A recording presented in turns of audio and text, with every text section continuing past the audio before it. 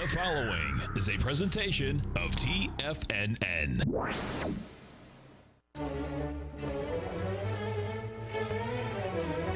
Trade what you see with Larry Pesavento.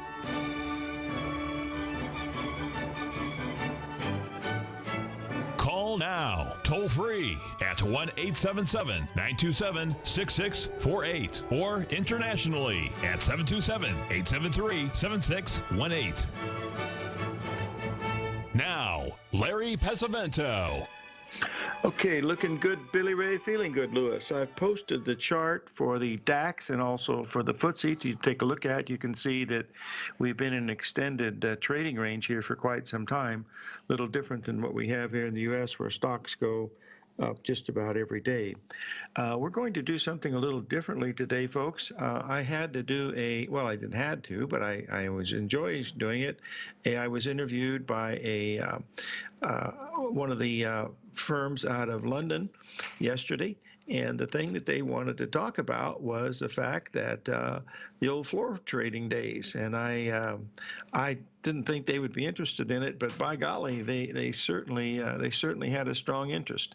Now, what I've posted into the den today is the trading cards that we used on the Chicago Mercantile Exchange. Now, let me explain to you why I went to Chicago because I think it's relatively important. I know it looks very faint because that it's old and faded. It's 40 years old, uh, so I'm sorry about that, but it shows you that uh, my badge was PEZ and B19 was my uh, was my member. Well, my member number was 618, but my B19, uh, I forget what that number was for. I don't remember what it was, but anyway, that's uh, that's really what it was. Okay, let me explain to you why I went to Chicago. When I was at Drexel, the last years there of 81, 82, I was working very closely with John Hill on the opening price and a whole bunch of other stuff. And I would go back to uh, Hendersonville, North Carolina, and worked with John for four or five days at a time.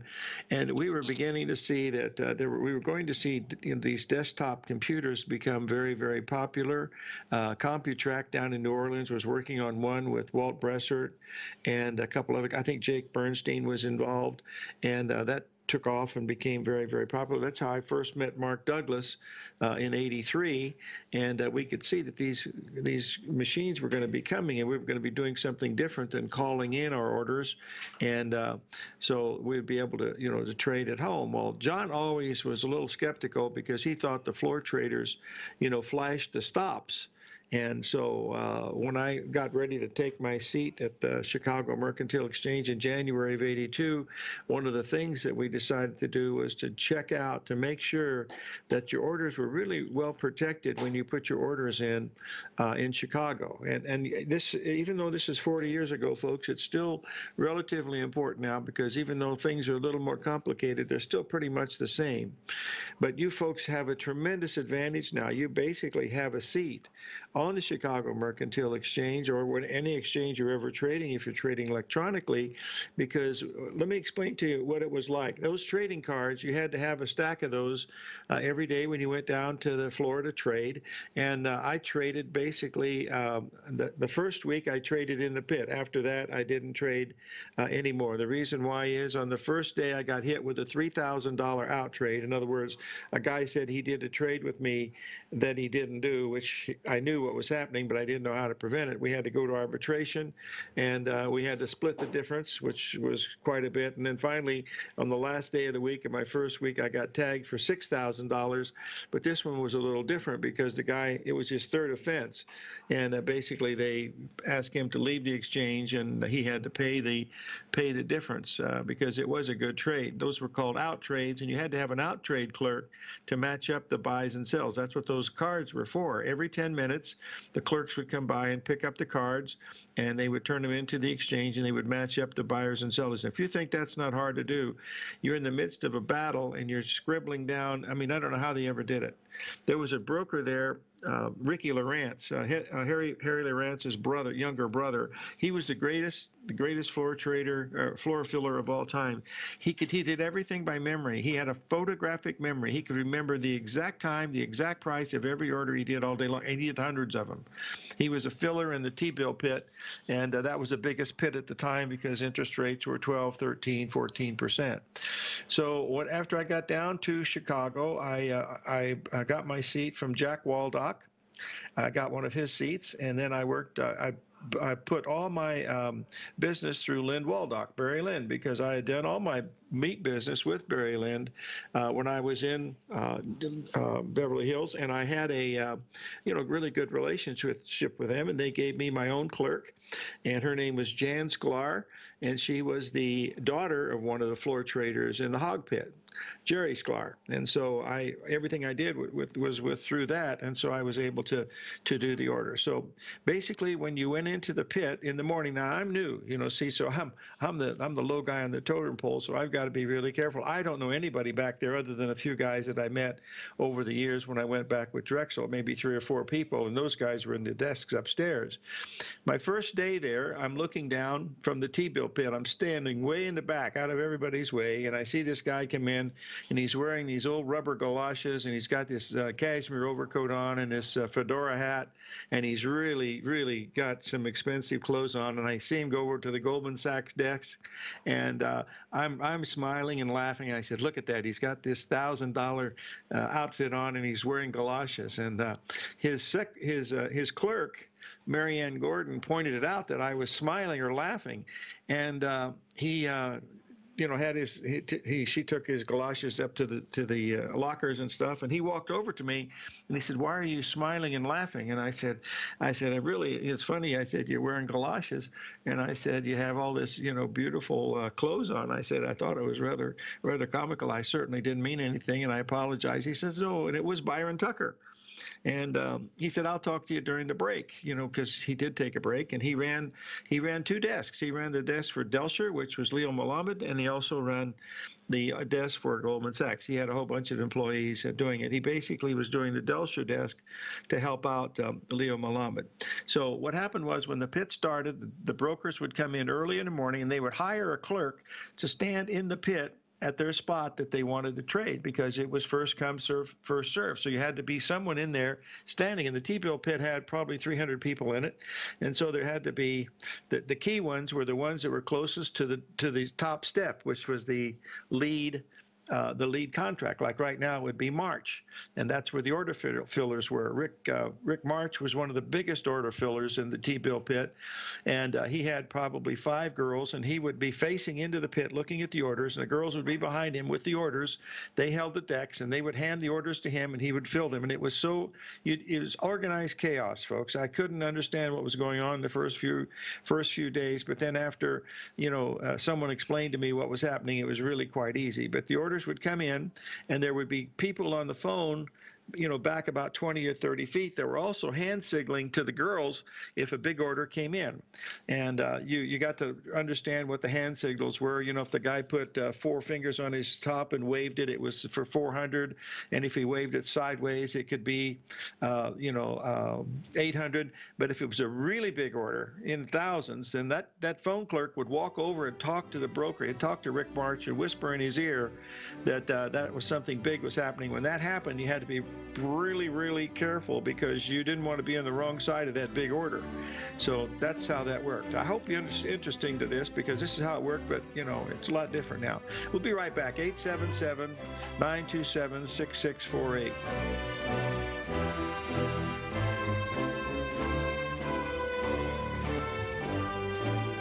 If you're not currently using the TAS Profile Scanner when looking at setting up your trading opportunities, then your arsenal is short a mighty weapon.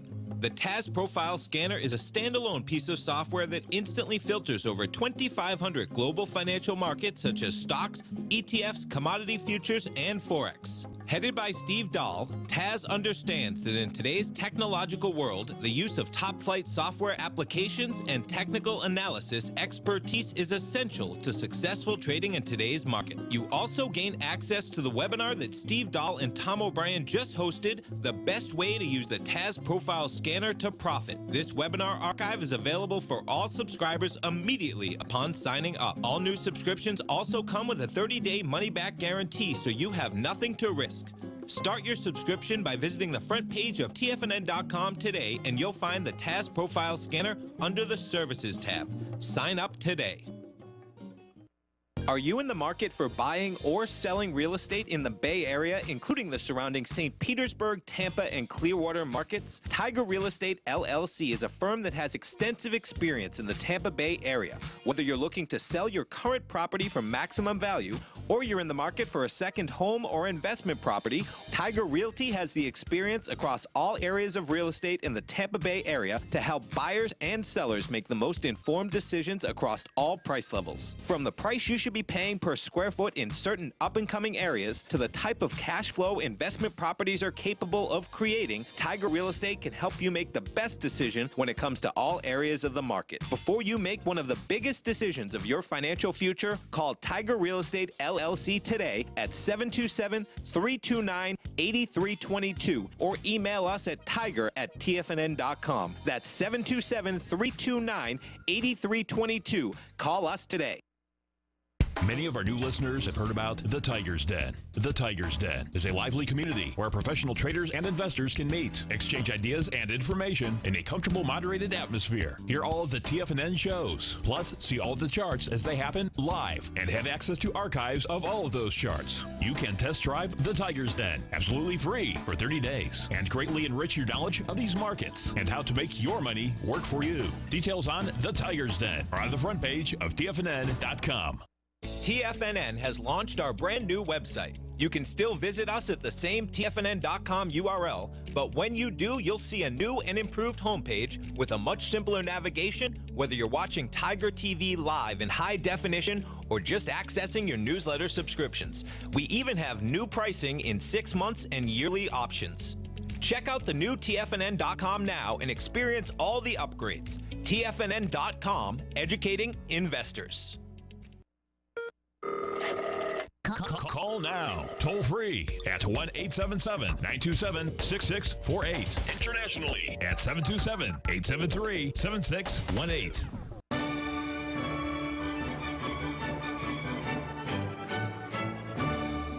Okay, uh, during the break, Ruby asked to take a look at the platinum chart. As you can see here, folks, uh, we are very close to completing that ABCD pattern that uh, completes around 1036. We broke out above that uh, double top easily, and uh, the the, the pattern comes in at uh, roughly, I think if you look there, it's around 1036, 1038. So uh, it did break out to the upside. Gold and silver still lagging a little bit, but it still looks okay. I want to continue on about the uh, how the order flows and stuff like that, and I want to tell you a few stories that I learned. My main reason for going there to the exchange was to see that these stops were really protected. I found that out during the very first week. I saw that these decks, you know, were very tightly held, and they were they were called million dollar decks. They were, they were called million dollar brokers because they made a million dollars a year filling paper. They got paid $2 for every contract that they filled. So if it was a 400 lot order, he made $800 on that contract. That was $2 in, $2 out. We were I was a $2 broker because I handed my orders into the pit. I actually did not go into the pit after the first week because of those out trades. All I had to do was just hand my broker directly to Rick March. He could fill it and I could get it right back. I had a total cost in of $2, total cost out $2 and no out trade problems. And that was the main thing that I was worried about was these out trades because those were the ones that could have had some thieves down there and you had to be really, really careful. Back in 1996, 97, I think his name was Harry Houtkin, uh, became one of the SOES bandits. And those are the ones that forced the NASDAQ to go to a decimal system. Instead of being quarter half, quarter half, quarter half on the stocks, they went to a decimal system. And that made the price of the executions drop, oh, you know, exponentially. Instead of paying a quarter to get in, you in 20, which was uh, you know 25 cents, they were trading for three and four cents, and that continued on until they forced the stock exchange to do it, and uh, the New York Stock Exchange, and that changed all the trading. And then of course the internet came in, and we got the phones coming in and all this stuff. But the the orders were were still protected. You don't have that problem now because the everybody is pretty much has their own seat on the exchange. Uh, all you have to do is you know just to monitor you know where the bids and offers are and what the spreads are. That's the main thing. The reason why I went to uh, Chicago, as I mentioned, was that was the main reason to see if that was fair. It was about the third week. Uh, I think it was in January I was there, and uh, Jan Sklar was my clerk, as I mentioned before, and there was a pork belly report, excuse me, a cattle on feed report that came out. It was the um, the yearly supply uh, supply thing. It comes out every January for cattle, and it was so bullish that they said cattle would be up the limit three or four days in a row. And I had short I had shorted two contracts of pork bellies, and uh, you know I was really thought I was going to get killed. So I went over to Jan, and uh, she knew the girl that held the deck for Mar- uh, Marty Zeidman, who ran the uh, who was a lead filler for uh, February bellies. And so I asked Jan. I said, "See if you can get this on top of the deck, so maybe I can get out with one limit."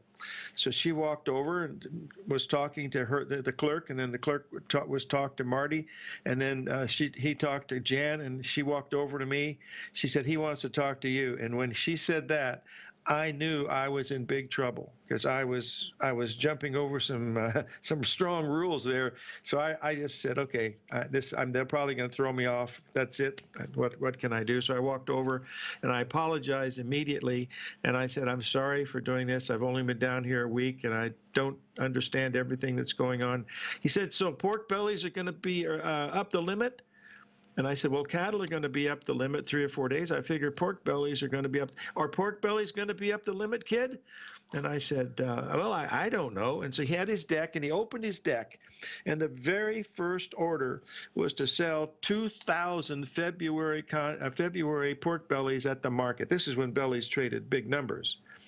And he closed the thing up and he said, just go back over to those uh, financial markets and trade with those animals and leave us over here to take care of our own business.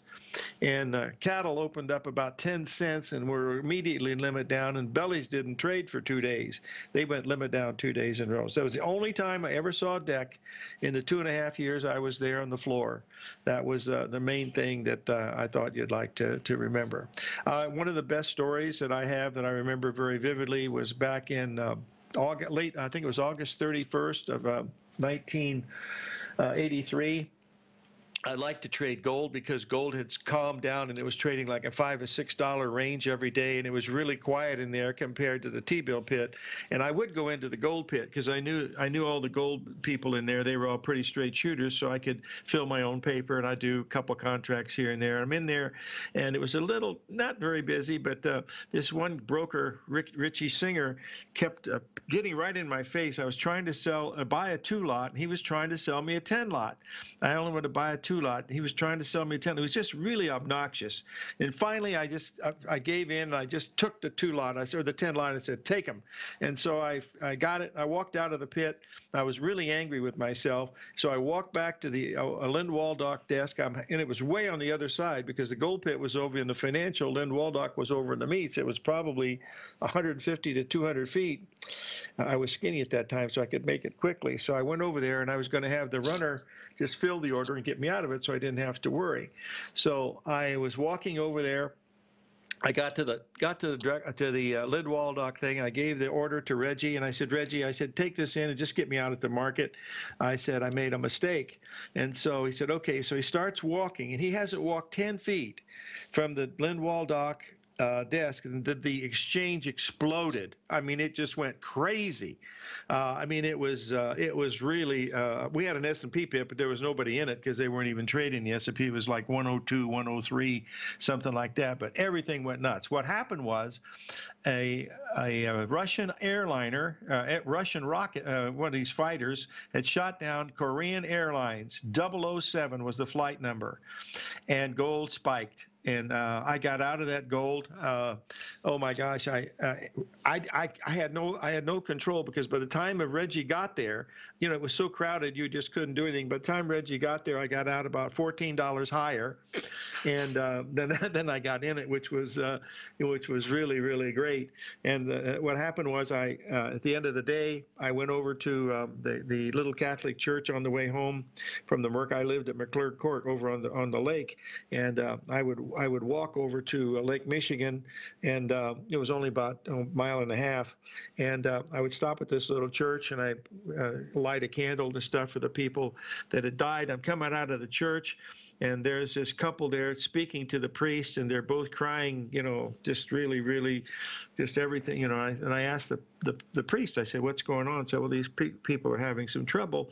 He said they had someone stolen their stuff and uh, they didn't have any money to get home, and so I was able to uh, able to get them home in comfort. So I was did a little something in good deed that day. But uh, when I went back in the pit uh, later on, uh, when things calmed down, I walked in and you know the gold was still up about 12 bucks, and I waved over to Ricky and gave him the thumbs up, and I said, "Thank you, buddy," you know, and I, I did it sincerely, you know anyway, that I've got a whole bunch of other stories. I'm not going to bore you with them, but remember, these things are really the same. Uh, the, the, orders, you still have to know what the heck you're doing if you're going to put an order in. So, all right, that's it. All right, we'll be right back. 877 927 6648.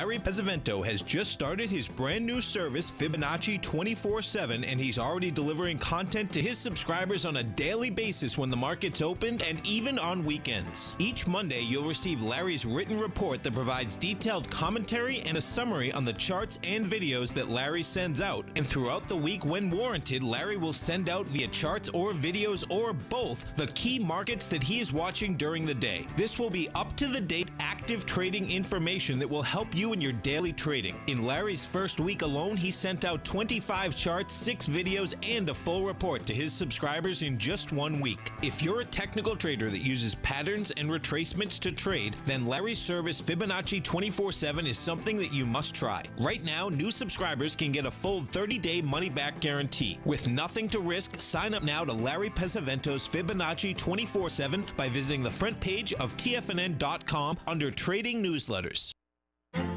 The Path of Least Resistance is David White's daily trading newsletter, and if you're looking for active trading ideas, then now's a perfect time for a 30-day free trial to this powerful daily trading advisory service. David uses his years of trading experience to offer his subscribers his trading ideas each morning in his Path of Least Resistance newsletter. Using a combination of equity trades along with options, David keeps his subscribers up to date with all pertinent market information with intraday afternoon updates when warranted. Don't miss out on this great chance to get a 30-day free trial to David's daily newsletter, The Path of Least Resistance, with no obligation to pay anything. David has been delivering solid recommendations for his subscribers recently, and if you'd like to see the type of newsletter he delivers every morning, then visit the front page of TFNN and you'll find the Path of Least Resistance under Trading Newsletters. For all the details and to start your 30-day free trial today, log on to TFNN.com now. TFNN is excited about our new software charting program, The Art of Timing the Trade Charts. In collaboration with Tom O'Brien and using his best selling book, The Art of Timing the Trade Your Ultimate Trading Mastery System, David White has programmed an outstanding piece of software that will complement any trader's methodology. Using this first of its kind program, The Art of Timing the Trade Charts allows you to scan thousands of stocks for Fibonacci formation setups, including Gartley's, ABC's, butterflies, and much more. The Art of Timing the Trade Charts is designed designed to help you when scouring the markets for stocks just beginning to form the trading patterns that many investors spend days, weeks, or even months searching to find. And right now, we're offering licenses available at only $79 a month. We are so confident that you're going to love this new charting software that will even give you a 30 day unconditional money back guarantee. Don't miss out on this incredible new piece of software. Get your copy of The Art of Timing the Trade Charts today by visiting TFNN.com. This segment is brought to you by Think or Swim. For more information, just click the Think or Swim banner on the front page of TFNN.com.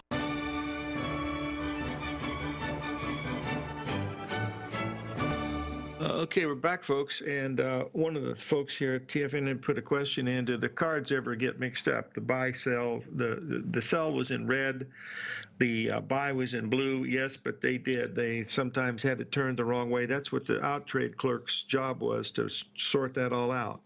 Uh, Byron used an out trade clerk, Rich Scanlon. He was the number one guy down there. He he was indisputable. He knew where everything was, and uh, it was uh, much easier when you had somebody like that on your team to be able to do that than if you were than if you didn't. So that's just neither here nor there. Sometime down in the future, I'll probably uh, you know bring some more stories. Uh, you know that there there's a lot of them. I mean, I'll learn, well, just let me just there's a couple of them that are pretty interesting. Uh, standing in the backside of the T-bill pit.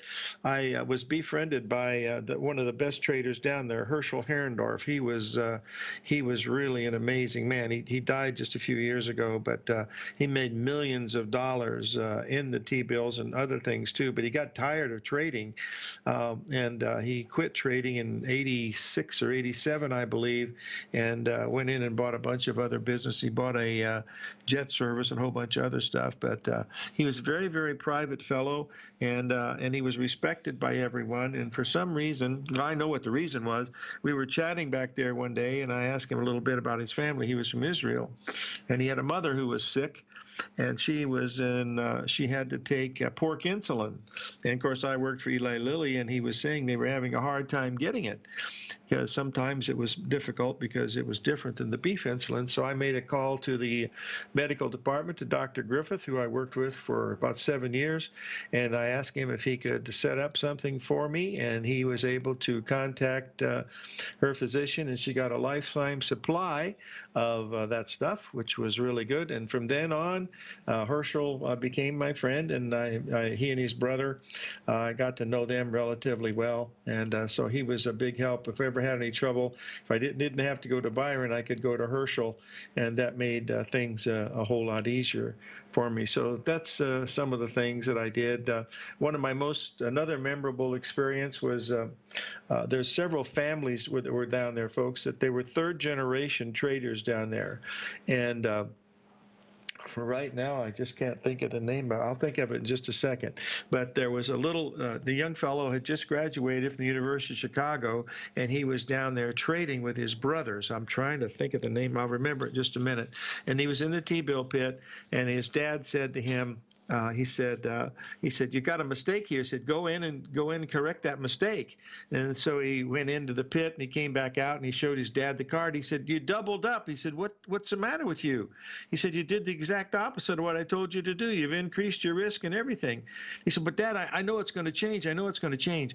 And he reached around and grabbed the kid's badge and ripped his badge right off of his jacket off of his trading jacket and told him to get off the floor until he learned to what was uh, what was going on. Oh, he did one other thing that was really uh, really amazing, and that was he uh, reached into the kid's pocket and grabbed his money, his money clip, and he threw the money out into the pit, which is a that's an automatic fine of a couple hundred bucks. And uh, he was trying to tell him, if you're going to throw your money away, throw your own money away. You're not going to throw my money away. And so uh, the kid walked out and he was all shook up. And Herschel said to the guy, uh, Gosh, I can't remember his name. I can see his face. And he said, God, you're kind of hard on a kid, aren't you? And he said, Herschel, he said, if I don't tell him how to do it the right way, he's never, ever going to do it the right way. So he's got to learn the hard way. And that was a hard lesson that uh, if you're going to do the right thing, do it right. Because if you added to the losing position, which what he was what he did, that was a number one rule in that family that you didn't want to uh, didn't want to mess with it. So anyway, let's get back to the markets here. Uh, we got up to 13 what 1026 in the uh, platinum backed off just a tiny bit. Not too much is uh, going on there. Uh, we've got a couple of markets that, that are very interesting folks. Take a look here uh, at the um, and we got the trade thing going with the Chinese today which will be interesting but take a look here uh, at the March wheat. You'll notice we had a double bottom down here between May and September. Now we have a potential of a double top up in here. That double top comes in at uh, 574 the high last night was 574 and a half. Uh, it's trading around 572 right now. So if it backs off from here, this could be a double top formation. You can see the three drive to a top pattern over the past two weeks that I that I drove in, right at the 1.618 expansion. So anything above 577 or 578 will tell you that this market is breaking out to the upside. So that's uh, that's the main thing that you want to uh, to keep in mind as you're as you're watching these things, uh, you know, move through the uh, uh, the day. Okay, let's take a quick look and see how we had a little. We're always having our little rally. We got the stocks uh, immediately rallied 10 points right after they opened up. Uh, we've got the Nasdaq. It rallied quickly 30 points like it usually does because it looks like the stocks are going to go up absolutely forever. And uh, this astrology thing, this is the last day for it, folks. If we make new highs today, then that uh, aspect that I've been watching will have uh, not worked this time. And that means that, uh, well, it does mean a lot, but it does mean that it's not working this time. And, uh, and that's pretty important because those other times it certainly uh, had some really serious things going on with it, but that's neither neither here nor there. Uh, I see price objectives now uh, for Tesla, and if you recall, we posted that chart for Tesla. It did hit the 1.618 expansion yesterday at uh, 400 and 50, I think 52 or something like that is what it did. And there's now Apple. Uh, the price objectives on Apple are 600 and $1,000. I heard on uh, uh, uh, Bloomberg yesterday, and Apple will be the first $2 trillion uh, company sometime in early 2020 or 2021. So that's good news for all those that are holding Apple. So uh, we'll move on here to the next one. Here is the uh, one of these things that we did get uh, from uh, that are being posted out on the internet. The fact that the stocks will never go down, that it's uh, breaking out of uptrend channels and things like that, and it certainly could because we have been doing that. But let's keep in mind that whenever things go up, they have a tendency to sometimes back off and go down, but that's not this time, but we'll see what happened. Let's take a quick look at the Bitcoin. We've had a nice buy in that bit, well, not a buy, I didn't buy it down there. Tom Hugard did, but I didn't. Down there at that 6,400 level, which was a 61% retracement uh, on the long-term daily chart, and it was also on a log chart it was a 382 retracement coming off of $100 a share. So uh, we've uh, popped up here the last couple days. We've jumped another 660 points uh, to get up to the 61% retracement off of the uh, October high, which is uh, going to give us a little bit of a back off. But right now, this uh, cryptocurrency is going to uh, be moving. I would, with, well, we got this is the first break already. Shut the front door and raise the rent. When we get back, I want to talk to you about quantum computing. I think this is something that we all have to pay attention to because it's going to be a big thing in the future. It's, uh, in fact, it's already in the future because China has already got a quantum computing thing going, and we're trying to catch up with them. We'll chat with that about just a little bit. I imagine David, David White probably knows more about this. He's forgot more about this than I know, and we probably should revert. But I'll give you my two cents worth anyway, and uh, we'll see how things are moving here. So that's we're watching 877 927 6648.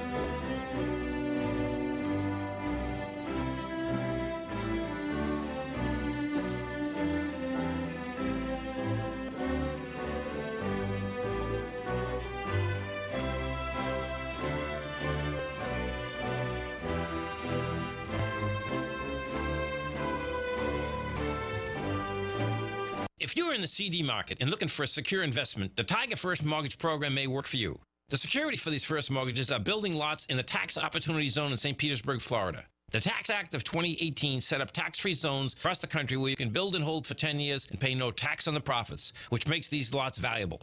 The investment is anywhere from 30000 to 75000 the interest paid is 7% yearly paid on a monthly basis. According to Bankrate.com, the best rate for a four-year CD in the country as of February 20th is 3.1%. A $50,000 investment at a normal four-year CD rate of 3.1% would give you income of 1,550 per year or 6,200 over the four-year period. That same $50,000 investment in the Tiger First mortgage program would give you 3,500 per year or 14,000 over the four years. Which would you prefer, 6,200 or 14,000 of interest on your investment? If you would like more information about the Tiger First mortgage program, you can call me at 877-518-9190. That's 877-518-9190. The gold market has taken off topside in a large way in 2020. If you want to take advantage of this sector, now is the time to subscribe to my gold report. The Gold Report took profits in four of its equities in the gold portfolio in the first week of January for a combined profit of 99.2%, with two positions left in the portfolio that have a profit of 67.5% as of January 7th. The Gold Report is a comprehensive look at the metals sector as well as the markets that move gold, which is the currency and bond markets. New subscribers get a 30 day money back guarantee, so you have nothing to lose. Every Monday morning, I publish the Gold Report with coverage of gold, silver, bonds, the XAU, HUI, GDX, as well as more than 30 different mining equities. To see for yourself the types of profitable trades that are recommended within the Gold Report, sign up now by visiting TFNN.com. Don't miss out on the next great gold trade. Sign up today.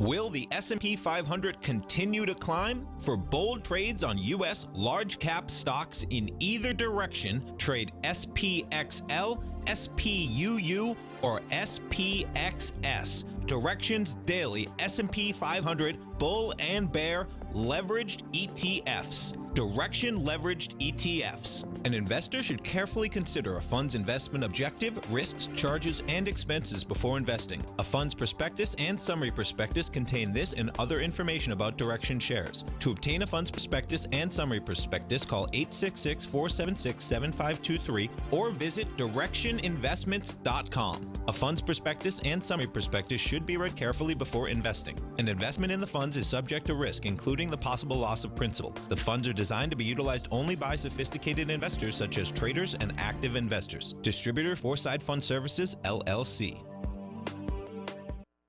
The Bull Bear Trading Hour with Tom and Tommy O'Brien. Next.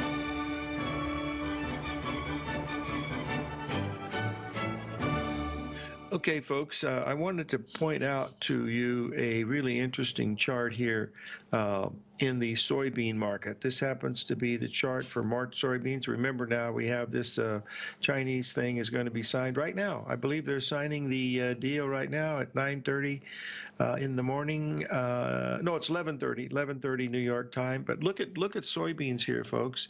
You notice how it went sideways here for the last eight or nine days.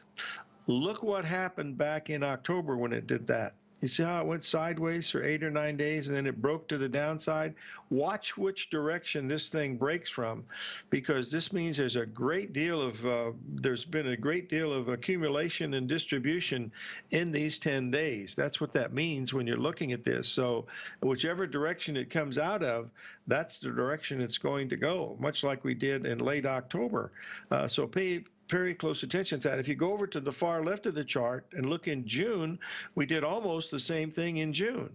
So there's a lot of uh, there's a lot of people taking positions on both sides. So the winner will be which way it comes out of here, and that's really what you want to be uh, keeping an eye on. So we'll watch it uh, as closely as we can. So believe yes, you're right, Bill. Uh, Tom O'Brien was one of those SOES bandits, as I recall, and uh, it was an interesting time, that's for sure. That led to the dot com bubble in uh, 2000, in, in, in 2000, which uh, the, the NASDAQ gave back 85%. And then in 2008, it gave back, I think, 80 or 90%. Of course, this time it won't give back one tenth of 1% because it's so very, very bullish. But we'll see what happens over this uh, time period. Uh, just the next, uh, someone asked what the next big uh, configuration is Uh, for cycle stuff. And that comes in. I'll post this up to you. You'll be able to see it. This is uh, the uh, spring equinox on March 20th. It comes uh, March 21st is a spring equinox. This is the for the 20th. Uh, we have uh, you can see that there's a lot of cycles that are going to be lining up around that time too.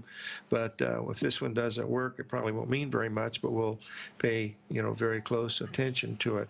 Let's remember the euro, folks, because we've been messing around here up in this 111, 112 and change here, and that's a very very important number. We've been talking about that for uh, several days here, because of the fact that, you know, we've completed that big ABCD here, and that certainly means something and uh, we've had a little bit of a rally, and uh, whether it's going to be enough to turn it, because the uh, all all of these currencies, folks, have had had major completions in these things, and it's going to be interesting to see if uh, that's going to be the case. And one of the ones that we're watching very, very closely, of course, is related to the FTSE and um, the Megan exit. Now we got Megxit along with Brexit. And hold on here. Let's get up here. Hats on. We got the 29,000 in the Dow again, one more time. Next stop, 100,000. I saw that as one of the targets.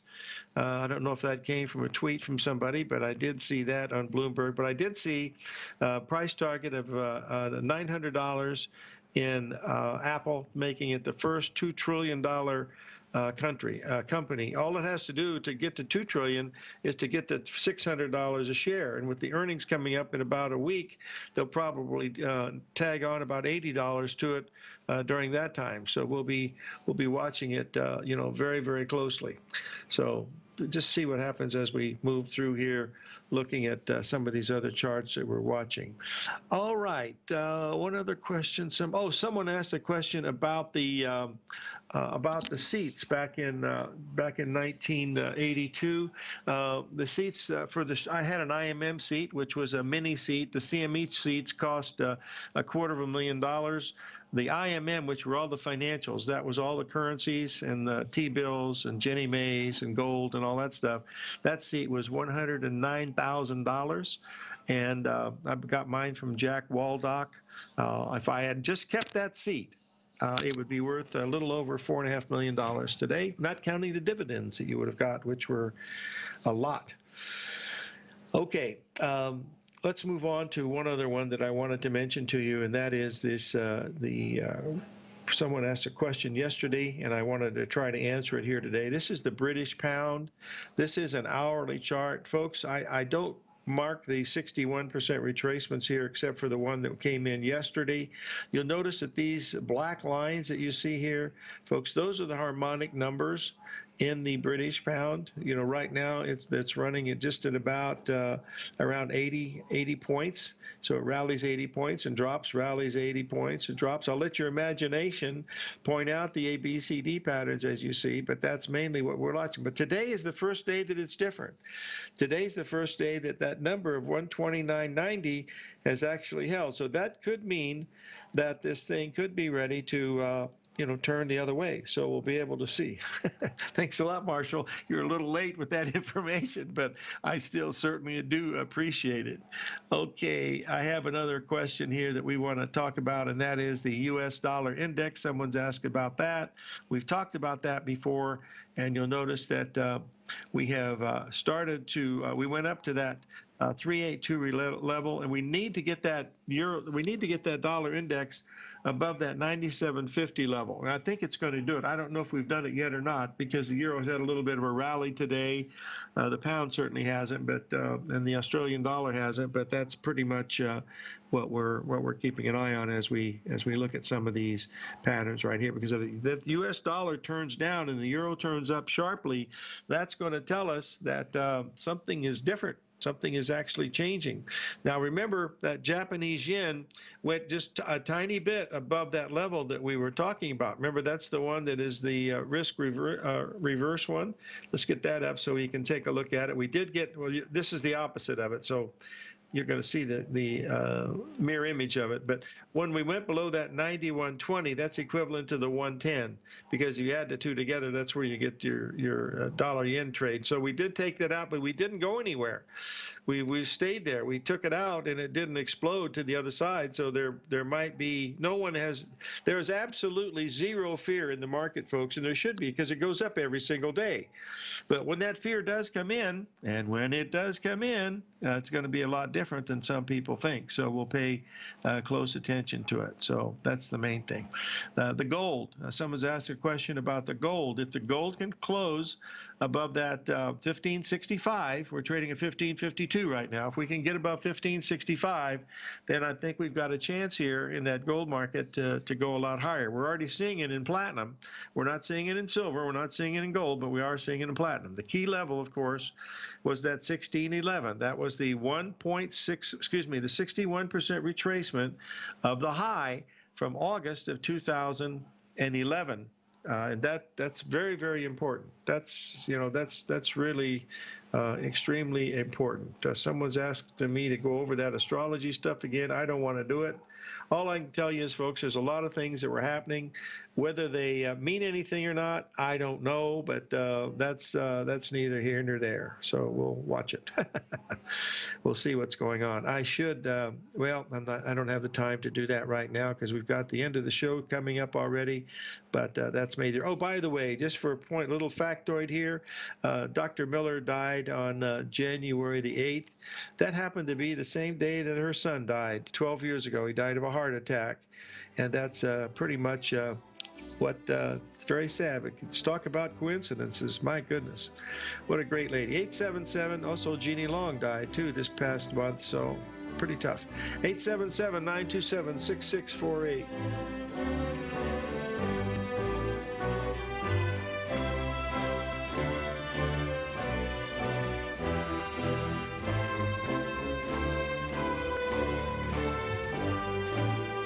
I'm certain you are or strive to be one of the best of the best at everything you do in life. It's the most common trait that we tigers and tigresses share. If you're looking to become the best of the best when it comes to managing your money, let me teach you to do what most wealth managers tell you can't be done, which is how to time the markets. I'm Steve Rhodes, author of Mastering Probability, and for the last 12 months, Timer Digest has been tracking my newsletter signals, which have earned me the ranking as their number one market timer in the nation for the S&P 500 for the last 12 12, 6, and 3 months.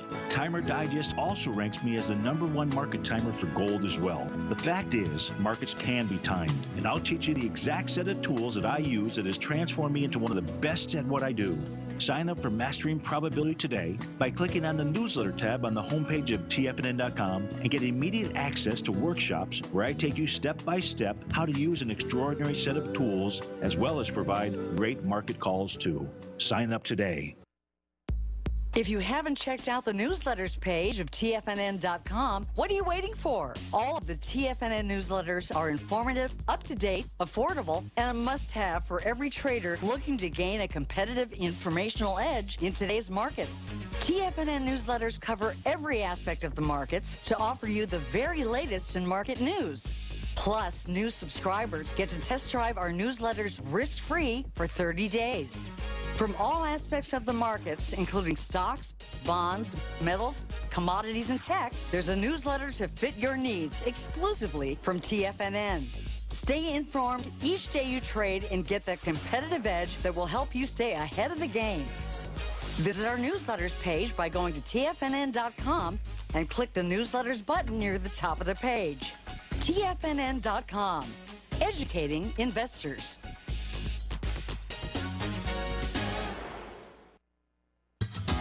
Since 1984, Basil Chapman has been using the Chapman Wave methodology to advise traders of his expert market opinion.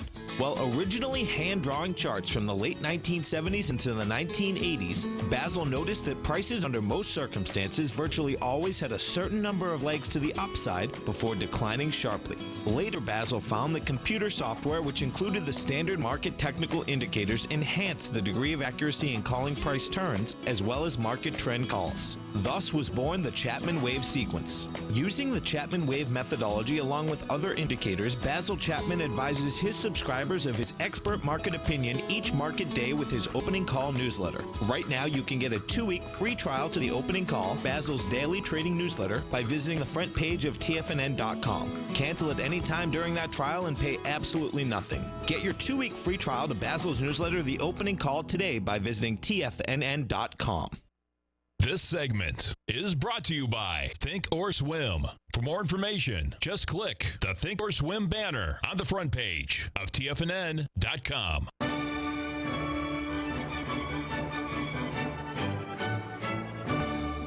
Okay, we're back, folks, and uh, let's see what we got there. Gold is sold off a little bit. Gold hit the 78% level of that high of yesterday, folks, at uh, 15. Uh, 57. We're now trading at 1550. Uh, gold looks bearish, folks. You know that with that big 61% retracement there, you know that's really going to be uh, really be interesting to see what happens. By the way, the open interest in the uh, E-mini yesterday, S&P actually dropped during the making new highs, and we're almost making new highs again too. We had a drop in Nasdaq and also a drop in the Russell, but the Dow Jones, which is the smallest of the of the four indices, had a very slight increase uh, in the market. So uh, that's what we're paying attention here so far today. So we'll pay close attention to that as we move through uh, the day. All right, regarding that wheat, folks, uh, I was talking about a possible double top in the wheat up there at that 575 level. We sold off about a nickel uh, from that level. Any move above that 575, and with that thing being signed today at 11:30, anything could happen. You know, they could walk out and say, "Forget it." You know, you just don't know what's going to happen to politics these days. So, pay attention, folks. You got to put your stops in in these markets, especially now because we're going to see volatility in 2020 like we've never seen before. That's why this volatility index, it should be trading at about three, given the fact where the market is, but it's trading at around 12. So somebody's taking protection somewhere. I don't know who it is, but uh, somebody must be. So let's pay a little bit of attention to that and see if that's going to mean anything uh, down the road. So we'll pay uh, attention to that as we as we look at some of these things unfold uh, for the day. So we're coming to the end of the road here, and uh, we'll see you folks uh, tomorrow. Uh, no more guests this week, but next week we're going to have somebody special on. I'm hoping to have an old floor trader, Scott Slutsky, who ran the currency pits for the Swiss franc for many years and uh, he retired from trading a few years ago to do something else.